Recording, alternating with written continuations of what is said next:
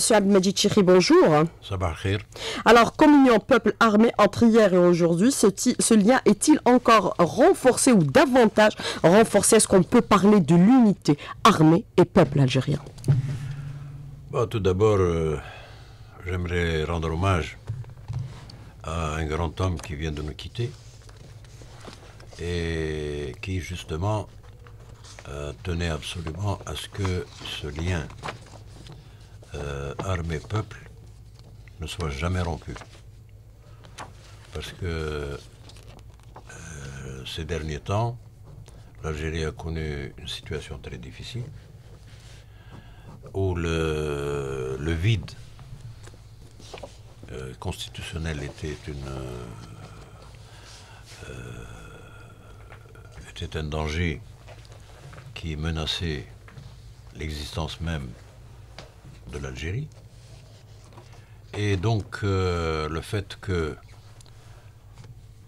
la population soit descendue dans, le, dans la rue, ce qui est une, euh, un signe de santé, en réalité, parce que le peuple algérien a, a- prouvé, par l'histoire contemporaine, qu'à chaque fois que l'Algérie était en danger, le peuple descendait dans, le, dans, le, dans la rue pour exprimer sa volonté. Nous l'avons vu en 1945. Il ne faut pas oublier que 1945, le général de Gaulle était passé en 1944 à Brazzaville, où il a promis de changer, de réviser le système colonial, mais les Algériens n'ont pas compris que l'Algérie n'était pas comprise dans cette promesse. L'Algérie faisait partie intégrante de l'État français, et donc elle n'est pas concernée par... ce n'est pas une colonie. L'Algérie n'a jamais été quelque chose sous la, colonisation. Elle n'est ni une colonie, ni un territoire d'outre-mer, ni rien du tout, elle n'avait pas de statut. Donc, ils ne pouvaient pas la comprendre dans sa promesse. Les Algériens ont compris que c'était une promesse. Voilà qu'en 1945, lors de la, de la victoire sur, euh, sur l'Allemagne, il se retrouve devant une répression alors qu'il était sorti pour fêter cette, euh, victoire. Parce que les Algériens, parmi les gens qui ont euh, causé cette victoire. Nous l'avons prouvé également pendant la guerre de libération par la descente de- du 11 décembre. Pendant la période de l'indépendance, également, le peuple est descendu dans, le, dans la rue. Donc le fait que l'Algérie soit devant un mur, devant une situation pratiquement intenable, il fallait que le peuple descende dans la rue. Seulement, la grande inconnue, c'était que fera l'armée Parce que dans tous les pays du monde, l'armée, c'est le garant de l'unité nationale, c'est le garant de, la, stabilité de l'État.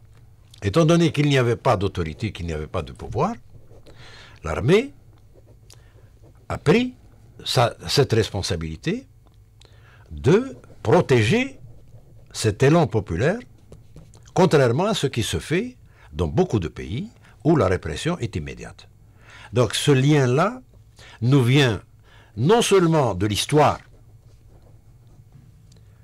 pas oublier que le- le- le- les résistances à la colonisation, c'était des résistances populaires. Donc maintenant, le fait que l'armée dise non, il n'y aura pas diffusion de sang et laisser le peuple s'exprimer, on revient à ressouder ce lien.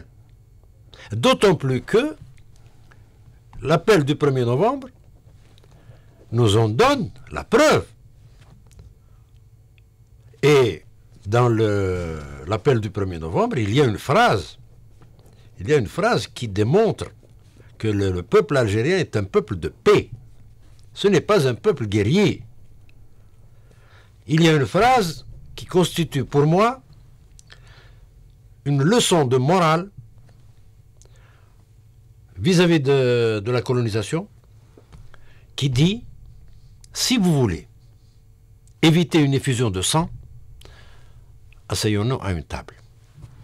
Mais justement, par rapport à ce que vous déclarez à l'instant, vous dites que l'armée, c'est le garant euh, de la, euh, c'est la garante de la sécurité et de la stabilité dans un État. Ce lien armée-peuple renforce aujourd'hui le principe de l'unité nationale en héritage de la déclaration du 1er novembre qui déclarait, qui disait à vous qui êtes appelés à nous juger. Est-ce que c'est un acte déjà de démocratie? Mais bien sûr. Cette phrase. Mais à vous qui êtes appelés parce à nous que, juger. parce que l'appel du 1er novembre commence, comme vous venez de le dire, par ce, discours direct au peuple, à vous qui êtes appelés à nous juger. Et il différencie entre les gens qui, euh, disons, sont déjà acquis à la cause nationale, et le reste qui doit rejoindre. Mais ce qui est beau également, c'est la fin de l'appel du 1er novembre. Quant à nous, conscients de vos sentiments anticolonialistes et anti-impérialistes, nous donnons le meilleur de nous-mêmes à la, nation. Donc, euh, cela procède de ce parcours où l'armée, la LN, si vous voulez, l'ANP par la suite, n'a jamais euh, renié ce lien. Ni le peuple, ni l'armée.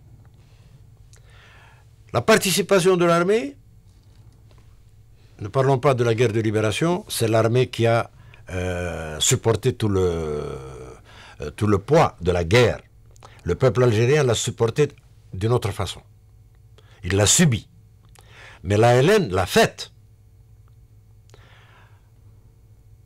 Pour ce qui est de l'ANP, après 1962, revoyez un peu l'histoire de ces 40 ou 50 ans, et même plus, vous verrez que l'armée a toujours participé aux grandes opérations de développement dans le pays. Le service national a réglé un certain nombre de problèmes.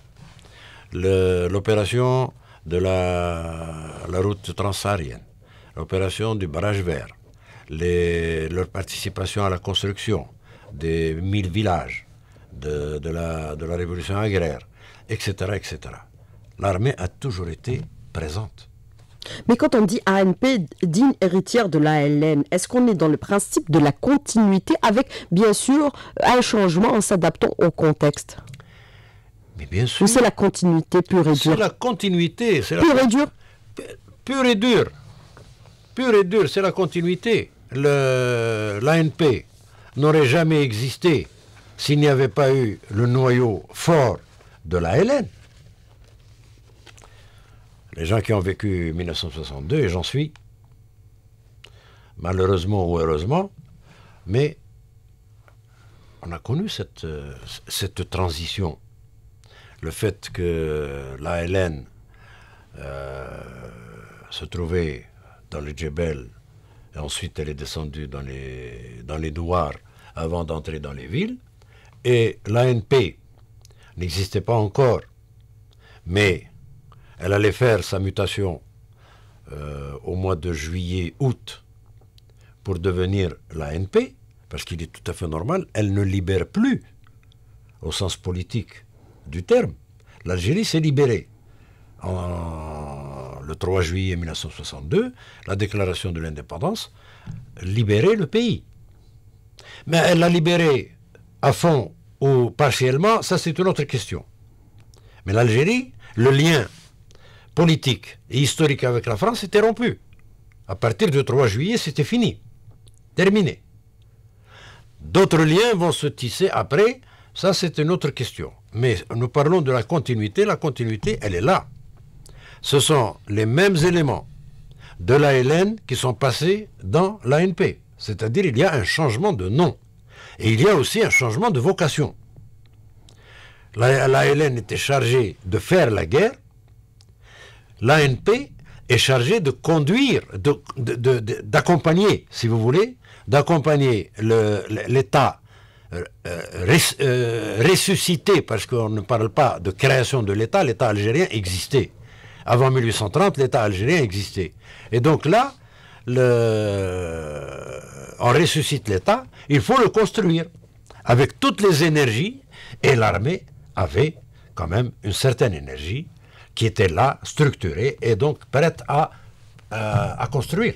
Mais quels sont les événements qui ont renforcé justement ces liens entre le peuple et son armée? Est-ce que c'est le fait que c'est une armée républicaine qui est restée toujours à proximité ou très proche du peuple, quel que soit l'endroit, quels que soient les événements? On a vu par exemple parfois des images où euh, l'ANP intervient par exemple pour un peu euh, intervenir au niveau de certaines localités où les peuples, euh, où les populations sont prises par exemple sous, par exemple, dans des intempéries, sous des tonnes par exemple de neige qui arrivent. Euh, par moment, ou dans les incendies, par exemple, de forêt, etc. Non, il n'y a pas que ça. Il n'y a pas que ça, il y a beaucoup. Non, on le voit, c'est-à-dire nous, le peuple, on le perçoit comme ça. On le, on le perçoit, mais également... Dans les hôpitaux à travers le pays. Euh, d'abord, euh, je, n'aime pas ce terme, ce terme républicain. Parce qu'il a certaines consonances qui prêtent à confusion. Et je dirais qui prêtent à confondaison. Euh, l'armée ou l'État est une république. On n'a pas besoin de le rabâcher.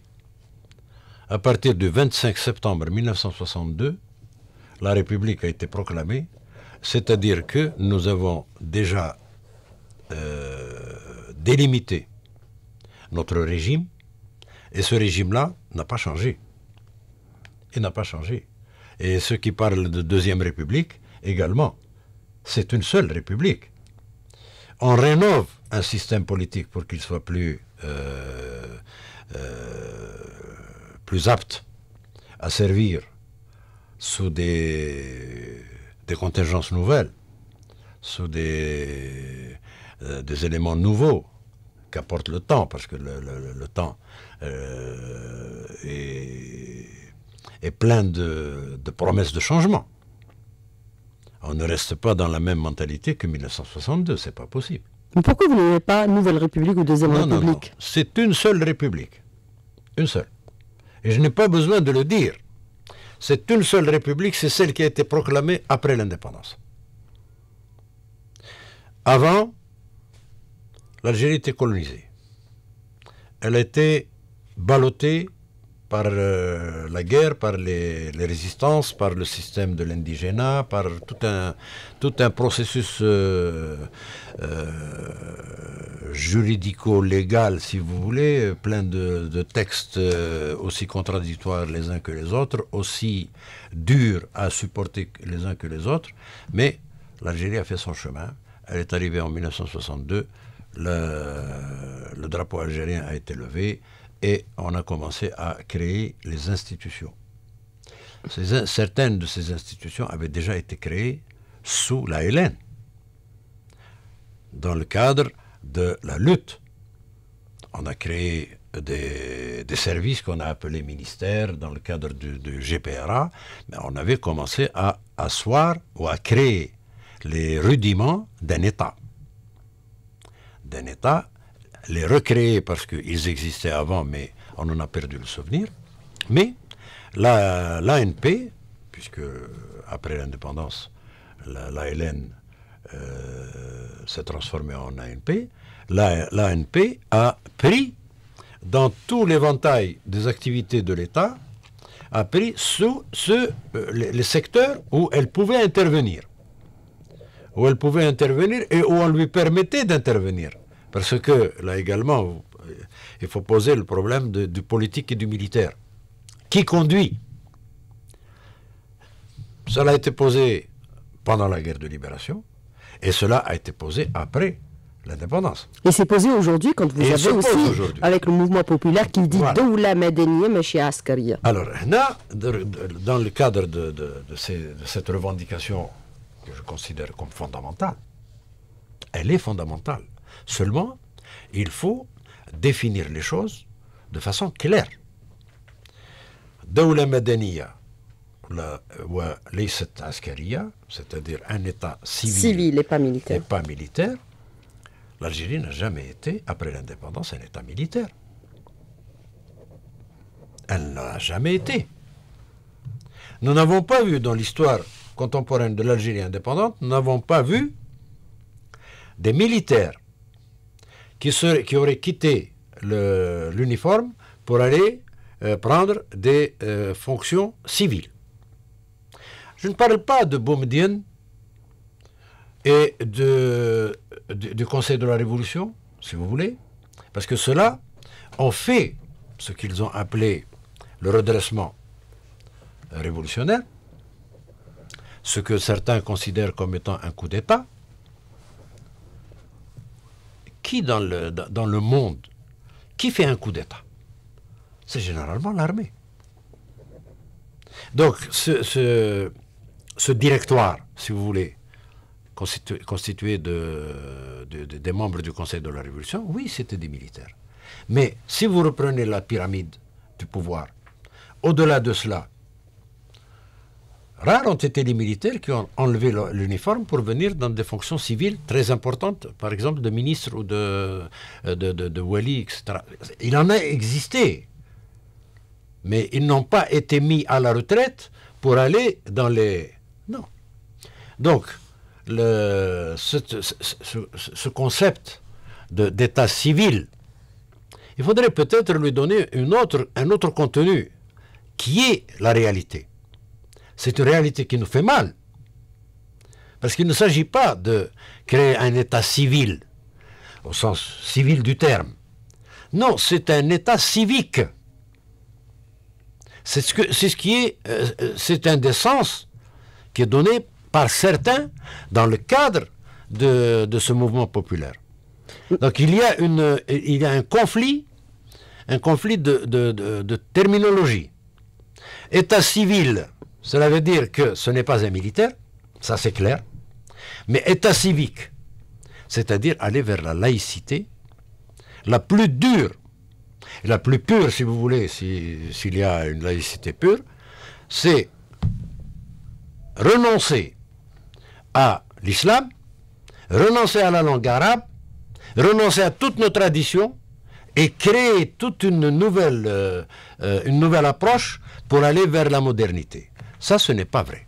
Alors, euh, Monsieur Abdelmadjid je voudrais revenir sur ce que vous avez déclaré dans la première partie de l'invité. Vous avez parlé un peu de cette revendication exprimée aujourd'hui, euh, État civil et non militaire. Vous avez, euh, vous considérez que c'est une sorte de constituante qui est revendiquée aujourd'hui pour remettre en cause un peu les, les, constantes algériennes? Je pense que oui. C'est votre avis? C'est mon avis. C'est mon avis parce que ce problème de la constituante n'est pas nouveau. Le problème de la constituante était posé par Aït Ahmed, un grand homme d'ailleurs dont je salue la mémoire. Euh, il avait été posé parce que euh, il considérait que la, Constitution euh, devait avoir un, certain consensus populaire avant son adoption, c'est-à-dire dans même sa, sa, préparation, il fallait que euh, on, y mette un certain nombre de choses.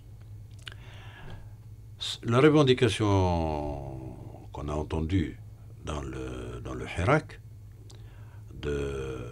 d'état civique, d'état civil, mais qui voulait dire, chez certains, ce n'est pas une revendication générale. Ce n'est pas une revendication de tous les gens qui sont descendus dans la rue. C'est une revendication, euh, je dirais, euh, d'une certaine partie. Ceux-ci, ceux qui le réclament, disent, enfin n'avouent pas ce qu'ils veulent au fond. La revendication, c'est effectivement une constituante qui reverrait tout le texte de la Constitution qui existe, c'est-à-dire non pas une révision constitutionnelle, mais une constitution refondue complètement. C'est-à-dire qu'on devrait réétudier et réévaluer les principes fondamentaux qui se trouvent dans le préambule de la Constitution, il faudrait également qu'on clarifie ce qu'on entend par ceci ou par cela. Et donc, c'est une nouvelle constitution. Or, cette revendication est peut-être légitime. Elle est peut-être légitime. Parce que, euh, nous l'avons vu, depuis les années 80, nous avons vu le texte de la Constitution remanié à chaque fois, euh, changé, on y ajoute certaines choses, on, euh, on, retranche certaines autres choses, si bien que maintenant il faudrait peut-être arriver à une mentalité à l'américaine que la Constitution soit un texte euh, d'une sacralité assez importante pour qu'on n'y touche pas qu'on fasse des amendements de temps en temps comme ça, vous voyez que dans deux siècles, euh, la Constitution américaine a été retouchée pour une dizaine ou une quinzaine de fois. C'est-à-dire premier amendement, deuxième amendement, troisième amendement. Ça, c'est l'idéal. C'est l'idéal dans une société qui a construit son unité nationale de façon irréversible.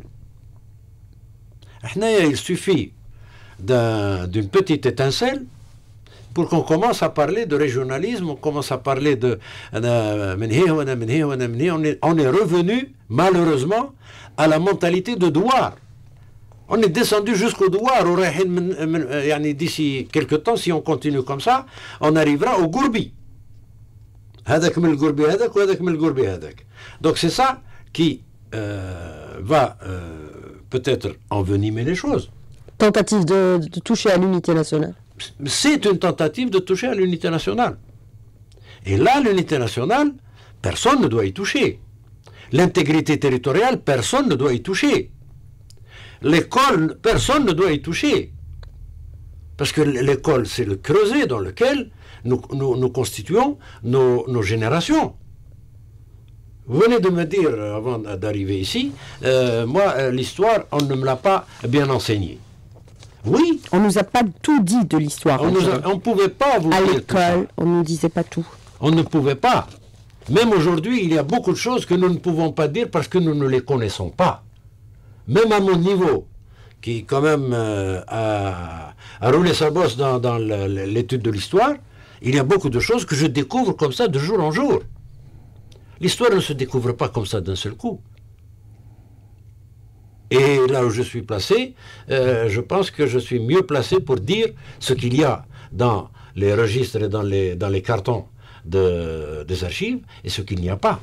Mais est-ce qu'on devrait commencer déjà par le commencement, dire toutes les vérités aux Algériens Puisqu'on a parlé de la, la, question un peu de l'apprentissage de euh, l'histoire euh, dans les écoles, une histoire qui n'est pas totalement euh, vraie. On découvre certaines vérités bien après. Commencer à dire les vérités pour commencer à comprendre déjà notre histoire et dépasser aujourd'hui et affirmer, de façon à affirmer notre identité nationale. Ma chère amie, un grand historien algérien dont je salue la mémoire M. Sahli a écrit un livre. Euh, si ma mémoire est bonne, au lendemain de l'indépendance. Décoloniser l'histoire. C'est le fin mot de l'histoire. Décoloniser l'histoire, c'est-à-dire que si j'écris l'histoire, je dois l'écrire en partant d'une étude intrinsèque à la société algérienne et ne pas prendre les schémas qui ont été établis par les historiens français. Pourquoi vous dites les historiens français? Parce que ce sont ceux qui se sont le plus intéressés et, et ce sont ceux qui ont écrit le plus sur l'histoire de l'Algérie. Ce n'est pas par, euh, par choix politique, si vous voulez, mais la réalité est là peu d'anglophones ont écrit sur l'Algérie, si nous, voyons la masse de ce qui a été écrit. Et cette masse-là, elle n'est pas inutile. Elle n'est pas inutile. Elle est utile pour nous donner certaines choses dont nous n'avons aucun document, sur lesquelles nous n'avons aucun document. Nous devons étudier, réétudier l'histoire à travers ces écrits-là, mais avec un œil critique. En restituant nos archives Si on, nous restituait nos archives, la chose aurait été plus aisée. Mais certains disent qu'il y a une volonté délibérée de ne pas vouloir récupérer les archives. Non, je regrette. Bah, je, l'ai dit dans une, euh, dans une déclaration à, la radio, je crois, il y a quelques mois, j'ai dit que il y a mauvaise volonté des deux côtés. Des deux côtés. L'Algérie n'a pas été ferme dans sa revendication des, archives, parce qu'il y a beaucoup de moyens pour pouvoir récupérer les archives. Je négocie avec euh, la partie française depuis des années, pratiquement sans, aucun résultat. De l'autre côté, on nous promet monts et mais on ne reçoit rien. Je vais, moi, en tant que directeur des archives, dans un centre d'archives en France, on ne me donne pratiquement rien. Un chercheur qui partirait de façon individuelle demande à, consulter les archives, il les, consulte. Donc, euh, vous dites que euh, est-ce qu'il ne faudrait, ne faudrait pas euh, lancer une dynamique? Oui, la dynamique, on peut la lancer, mais nécessairement, elle sera assez lente. Elle ne sera pas rapide, parce qu'il faut commencer par l'école. Enseigner la vraie histoire. L'école, c'est le fondement de l'éducation et de l'enseignement. علاش كانوا بكري المدارس ليزيكول كانوا يسموهم مدرسة التربية والتعليم on dit ministère de l'éducation nationale. Il y a l'enseignement et il y a l'éducation. L'école donne l'éducation qu'il faut à partir de l'éducation qu'on a reçue à la maison. Donc la base est à la maison. Ensuite l'école peaufine. Elle, euh, euh, euh, disons, elle termine le travail de la, de la famille. Alors justement, il y a une question de l'auditeur qui dit arrêtez de nous désunir, le, peuple est uni. Est-ce qu'il y a dans les déclarations une volonté de désunir un peu le peuple? Ça dépend de quelle déclaration. Ça dépend qui fait ces déclarations. Ça dépend. Qui fait ces déclarations? Le peuple est uni. Nous l'avons constaté hier. Nous l'avons constaté hier. Pendant que euh, le monde écrit le, décès de, de Gaïd Ahmed, un non-événement. Le Monde, le journal Le Monde. Le journal Le Monde. On a vu euh, toute la population courir dans les rues pour accompagner Gaïd Salah à sa dernière demeure. Alors, autre question de l'auditeur qui vous dit définissez-nous, s'il vous plaît, le terme laïcité qui est revendiqué aujourd'hui, selon vous, indirectement Non, la laïcité, la laïcité euh, ce n'est pas en, une minute qu'on peut, qu'on peut en parler. Parce que la, laïcité est un, terme qui, a été galvaudé euh, à droite et à gauche. Je ne, je ne voudrais pas rentrer dans cette... Euh, parce que ça, c'est un, un sujet à polémique. Je ne veux pas faire de polémique. Mais la laïcité, c'est euh, parce que la laïcité est un, produit, est un produit français. D'abord, il découle directement de ce qu'on appelle la Révolution euh, française de 1789. Il découle également des écrits, des écrits d'un certain nombre de, philosophes, un certain nombre d'écrits de philosophes, pendant toute la Renaissance. C'était quoi, au fond C'était la séparation de l'État et de l'Église. Ce système-là, effectivement, pour l'Europe, c'était une, libération, si vous voulez. Une libération parce que l'Église euh, avait la même mise sur le pouvoir politique. C'est elle qui désignait les rois, c'est elle qui les intronisait, et elle. Et elle détenait, en plus de cela, la connaissance, la culture et la science. Donc il fallait arrêter cela et permettre aux philosophes, aux scientifiques de faire leurs travaux. Galilée a été condamné à mort parce qu'il a dit que la Terre était ronde, et ensuite, au moment de, l'exécution, et pourtant elle tourne. Et pourtant elle tourne. Donc là, le contexte n'est pas le même. Le contexte n'est pas le même. En Algérie, dans un pays musulman, est-ce que, fondamentalement, selon nos traditions, parce que si on prend une décision politique, c'est autre chose. Là, on est en train de, creuser dans le subconscient de l'être humain. Est-ce que l'Algérien est, capable de lui-même de faire une séparation entre l'islam et la vie de tous les jours Je ne pense pas que ce soit vrai, ce soit possible. Je ne pense pas. Ce qui ferait l'équilibre, ce qui ferait l'équilibre, c'est de revenir à un islam simple, celui de nos pères, de nos grands-pères.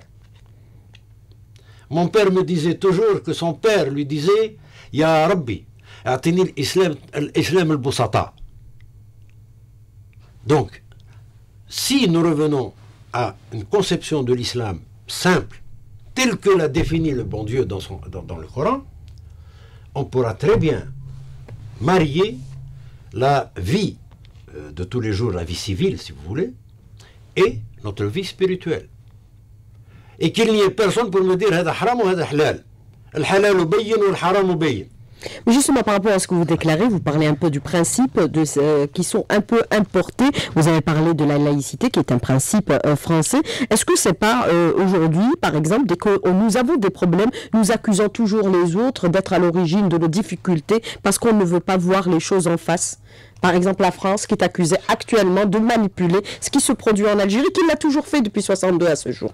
Non, non, je suis, si je suis entièrement d'accord avec vous en ce qui concerne de ce que dit l'autre.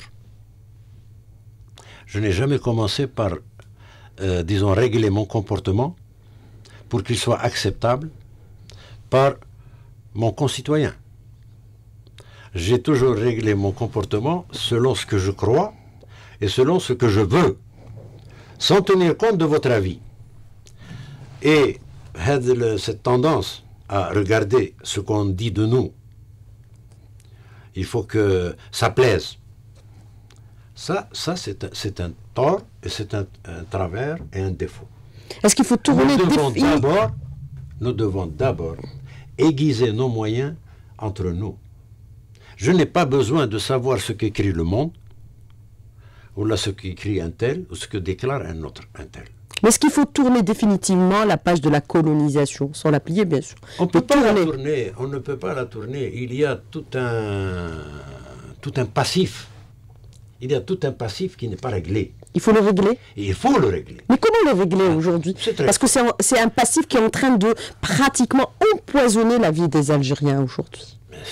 C'est tout à fait normal, ma chère amie. En 132 ans, ce qui s'est passé, et même avant, et même avant, a besoin d'être clarifié. Est-ce qu'il y a une volonté politique de vouloir un peu régler ce passif? Ça, il faudrait poser la question aux politiques. Je ne suis pas là pour, pour répondre à leur place. Mais moi, je dis que c'est possible. Je dis que c'est possible. Encore faut-il que l'on comprenne quels sont les enjeux. Je peux sortir un dossier qui pourra m'aider à clarifier les choses, mais je peux également le taire en attendant, parce qu'il faut faire la part des choses entre l'intérêt national. L'Algérie n'est pas une, planète euh, dans, le, cosmos qui tourne toute seule. L'Algérie vit dans un environnement historique, dans un environnement culturel, dans un environnement politique, dans un environnement économique. Donc il y a là un certain nombre de paramètres qu'il faut euh, établir pour pouvoir euh, permettre à l'Algérie d'œuvrer selon ses intérêts. Mais aujourd'hui, nous n'avons pas d'amis euh, euh, définitifs, nous n'avons pas d'ennemis définitifs. Nous avons des intérêts. Ce sont ces intérêts parce qu'il faudrait réfléchir en termes d'État. Il ne faut pas réfléchir en termes d'individus.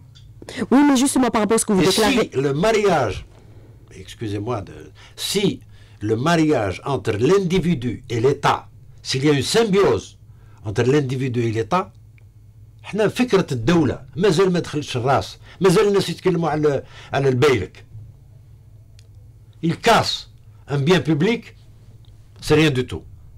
C'est justement parce qu'il faut poser le problème de, la, euh, de ce que nous venons de discuter, cette laïcité un peu truquée, et également la citoyenneté. On n'en a pas parlé. La citoyenneté, c'est quelque chose de très important parce qu'il faut que l'Algérien apprenne à être citoyen. Mais citoyen dans le contexte algérien et non pas citoyen dans le contexte de la Révolution française. C'est pas la même chose. Oui, mais ce qu'on constate actuellement, Monsieur euh, Chéry, c'est qu'il y a aujourd'hui, par exemple, par rapport à certaines ingérences de certaines euh, forces coloniales dans les affaires des États, il y a un rejet massif de certains États de l'ingérence française, que ce soit au niveau des, au niveau des anciennes euh, colonies. Par exemple, vous avez euh, un rejet au niveau du Mali qui est en train de s'exprimer. Vous avez aussi les Algériens qui l'ont fortement exprimé, qui l'expriment par des voix un peu officielles. On l'a vu pendant la campagne électorale. Même les candidats à la présidence l'ancienne l'avait exprimé. Même l'ancien chef, euh, même le défunt euh, Ahmed Gaïd Salah, décédé, il avait souvent dénoncé. Est-ce que cette ingérence aujourd'hui, c'est pour ne pas, euh, pour empêcher la France de mener les politiques qu'elle souhaite au niveau de ses colonies Aussi bien les colonies, les autres que nous, hein, également. Bon, vous ouvrez là. Puisque nous avons 132 ans de colonisation avec la France. Vous ouvrez, vous ouvrez là un chapitre qui nécessite un deux heures d'émission. Un débat clair. Un débat clair. Il faut l'avoir aujourd'hui, ce débat clair. Moi, je pense que oui. Je pense que oui, parce que ça clarifiera notre, notre parcours prochain. Le... Même si vous n'aimez pas la Nouvelle République. Non, non, moi je, je dis, je dis c'est un, c'est un, c'est une république rénovée, si vous voulez. Rénovée, mais c'est une seule. Je ne veux pas première, deuxième, troisième, quatrième, cinquième république. Qui ressemblerait un peu, qui aurait des similitudes à celles qui existent actuellement en France. Oui. Connotation coloniale. Non, même si je change de, de même si je change de, de, de, constitution, même si je change de constitution, même une constituante, même si je change, il reste une seule république. Mais il faut clarifier tout ça aujourd'hui. Il faut commencer. Nos relations avec la France. On ne peut pas clarifier un, un passif émotionnel, un passif économique, un passif culturel, on ne peut pas le clarifier en 24 heures. Il faut laisser au, temps le temps de faire son temps. Mais émotionnel parce que les acteurs vivants de cette période sont encore en vie, sont encore présents. Ou alors c'est un héritage également C'est un héritage d'une part. Mais également, euh, les, gens qui l'ont vécu doivent non pas transmettre le ressentiment. Mais il ne faut pas, il faut pas euh, cultiver la haine ou cultiver le... Nous, nous voulons... C'est très simple ce que veut le peuple algérien. C'est très simple. Nous voulons une unité nationale. نحب نمشي من الجزائر حتى لتمرست من من اضرار حتى لتبسا من غزوات حتى حتى القاله ما يقوليش واحد منين انت منين انت je serai très heureux le jour où on me dira je suis algérien. Quelles sont vos origines Point. Le régionalisme. J'ai vécu cette période. في جيش التحرير في جيش التحرير dans l'ALN